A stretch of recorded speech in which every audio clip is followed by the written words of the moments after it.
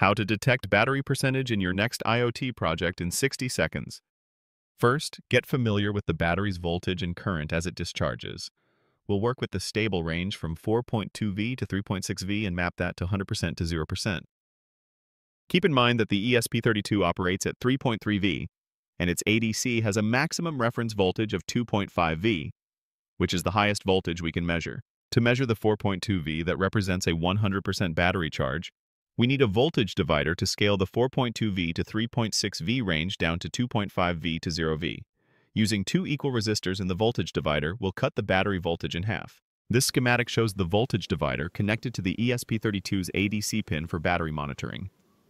I've included an NMOS and PMOS transistor to deactivate the voltage divider in deep sleep mode, reducing current draw and preserving battery life when no measurements are taken. Now we only have to read the data from ADC inside ESP32 using Arduino IDE, and there is two ways. With single readout of ADC or continuous reading of 5 sample, and then taking the average value.